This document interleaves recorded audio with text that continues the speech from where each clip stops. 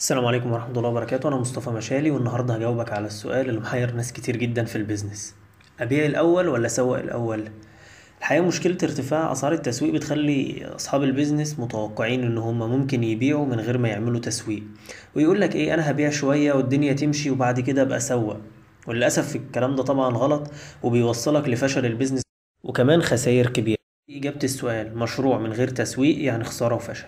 أنا بقدم لك دعم ونصايح في أي وقت ممكن تتواصل معايا. كمان بقدم لك خطة تسويق متكاملة لمشروعك. بنبدأ فيها من أول تحليل للسوق وبعدين تحليل المنافسين وتخطيط لأهدافك وإزاي تحققها في خطوات بسيطة تقدر نطبقها مع بعض وبالتالي نحقق تارجت المبيعات المطلوب مستنيك. ابعت لي استفسارك في أي وقت. والسلام عليكم ورحمة الله وبركاته.